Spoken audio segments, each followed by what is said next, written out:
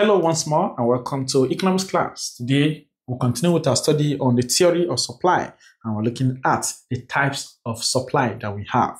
Okay, uh, do not forget that these videos, this episode, this series are brought to you by the O3 School JAMB CBT Practice Application. If you have made a conscious decision to pass your exam once and for all, you need that app on your phone or on your laptop immediately. We will talk about the app in a moment. Let us see a JAMB pass question from the O3 Schools app. Is a 2004 question, number 29. Using the question search feature, we're able to search for types of supply and we solve these questions.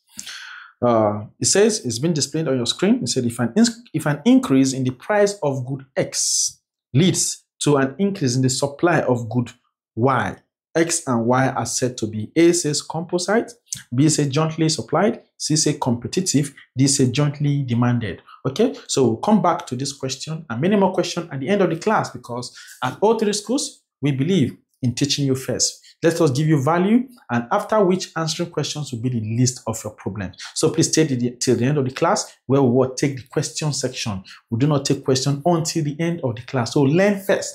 So download the application and activate it and start what enjoying the benefit of what study. Okay, the app has all the past questions you need for exam it has a classroom feature with JAMB syllabus and lecture notes structured according to that JAMB syllabus. There's a question search feature where you can search for question according to the topic, okay, that you are searching for. Likewise, there's a mock challenge on the application. In that mock challenge, all students that are writing JAMB for this year come to the application to compete with each other, to win amazing prizes, and to get used to JAMB past question, JAMB likely exam question, and to familiarize themselves with how JAMB sets their questions. And of course, at the end of each mock exam, all right, you see your score released just like JAMB, thereby building your confidence and able to track your, your progress or preparation for the main JAMB examination. All right, so please get the app, activate it. Activation is less than the price of rice and chicken in a good restaurant right now as we speak. So please do not be stingy to yourself or to your future. Get the app and what future in your future. All right, so now let us go to the types of what supply. Uh, number one, okay, there are actually three types of supply we're going to look at. Okay, competitive uh, supply, then we look at joint or complementary supply, then we look at the composite was supply.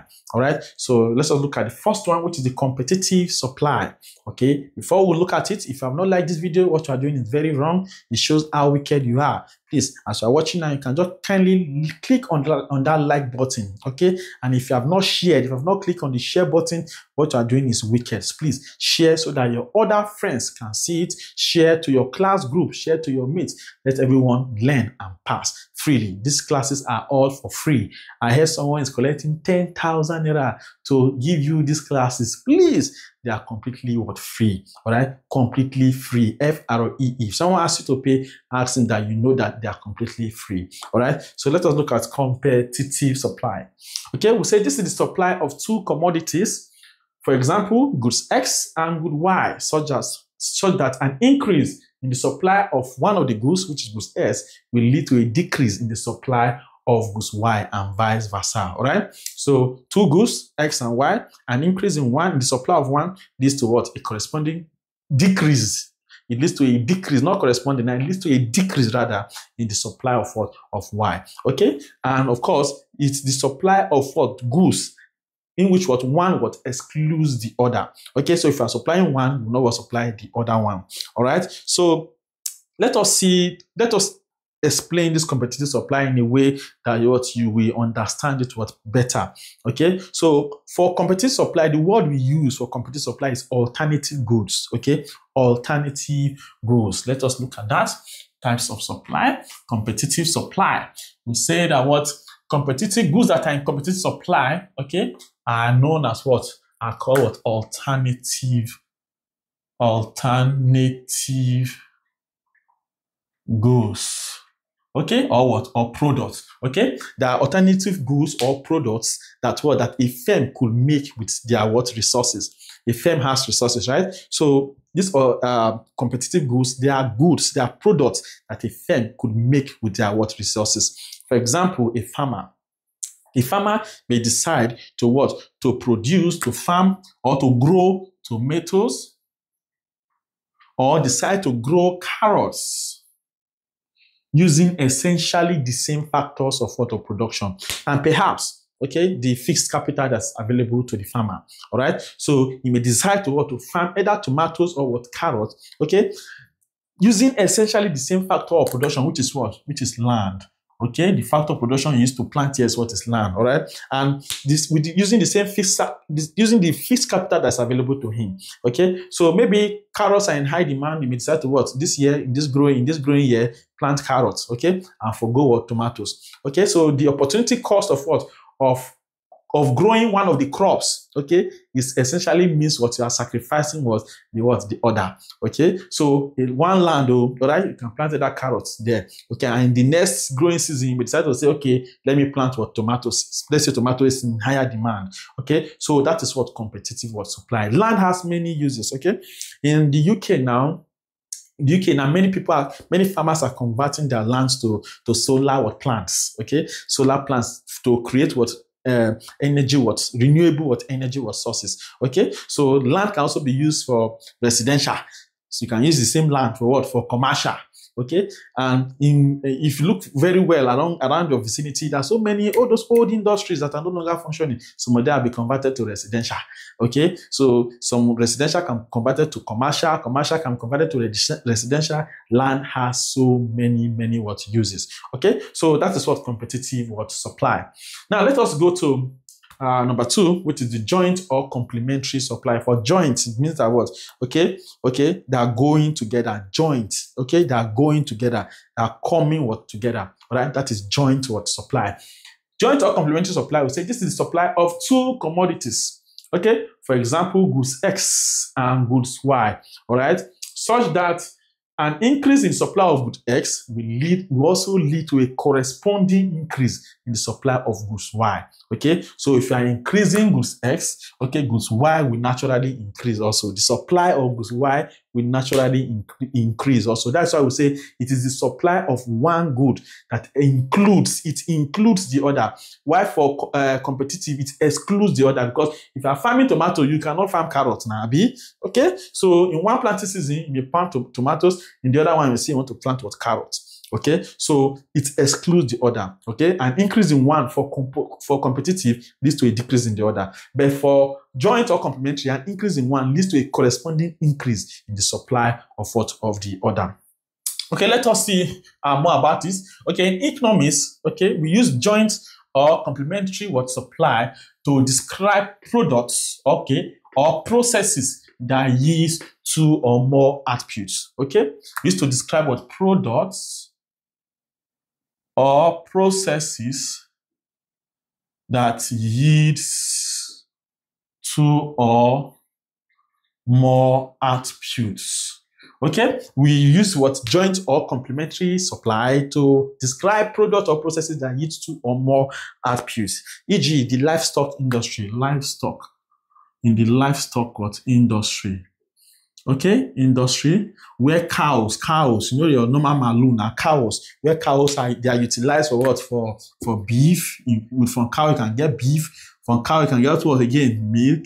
From cow you can also get what hides. Okay, you know what hides now. All right. So one animal. Okay, this one for joints. Okay, this was what we call principal supply. Principal supply. Okay, so our principal supply is what is cow. Cow is one that's what that's bringing what all of this what other what products. Okay, so the demand for what if the demand for milk increases, what will you grow? It's not cow. You grow more cows. Okay, so that you get what more milk. And as as you are growing more cows to get more milk, will you not get beef? You get beef. Will you not get hides? You get hides. That's why we say that joints. They are what? The, they are bundled together. They are bundled together. Okay? They are bundled together. The supply of one bundle is like is a combination. You cannot separate them. So if, if you need more hides, you will not get more beef. If you grow more cows, you get more beef, you get meat too. Okay, if you need beef, you will not get meat, you get meat, you get hides, and so on and so forth. So they go together. They are joint or complementary, okay, together. Okay, for example, let's say wool, wool. You know wool now, W-O-O-L. We get wool from sheep. Okay? If the demand for wool increases, okay, if demand for wool increases, what does it mean? It means that what? You have to grow more sheep so that I can get wool from them.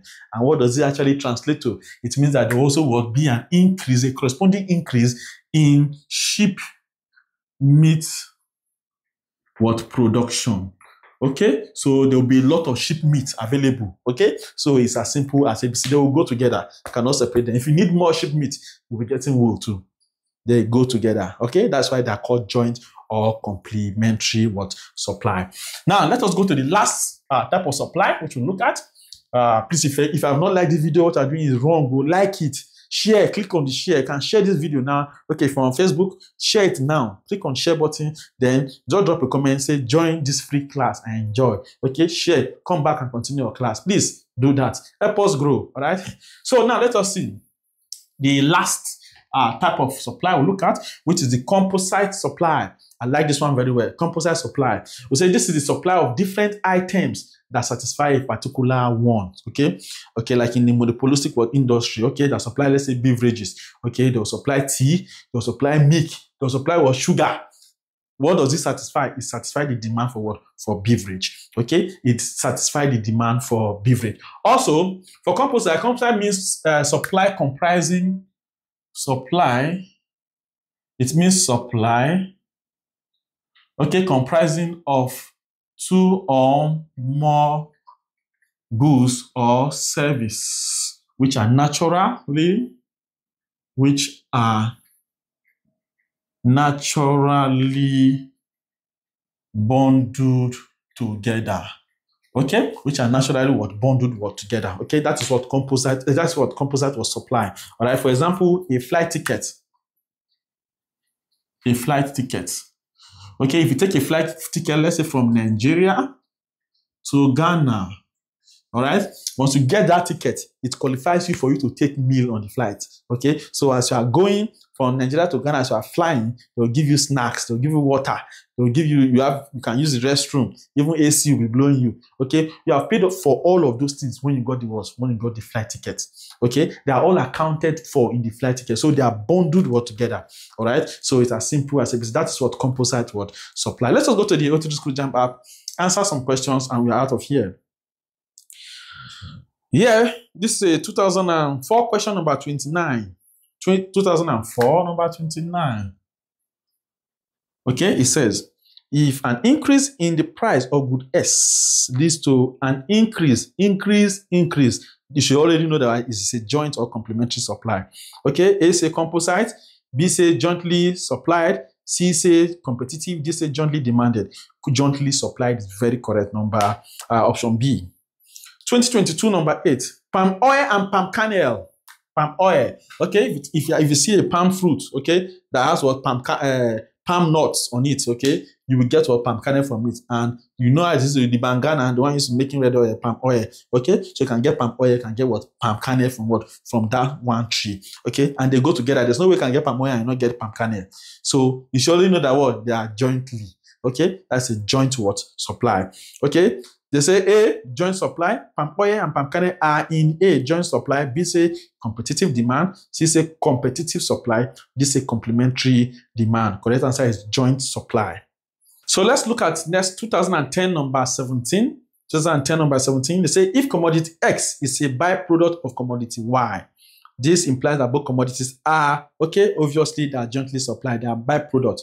Okay, you are getting one okay, you have a principal supply, then you're getting a byproduct from them. Like uh, you're getting hides, you're getting what sheep, uh, so you're getting beef, you're getting meat. Okay, those are other products are getting from what? From one what? One principal supply. All right. So that is what joint they go together. It's a joint what supply. Okay, so there are many more other questions from this application. Ensure you download the app, activate it, start practicing your way to success. I'll see you in the next one where we talk about the elasticity of supply. See you there.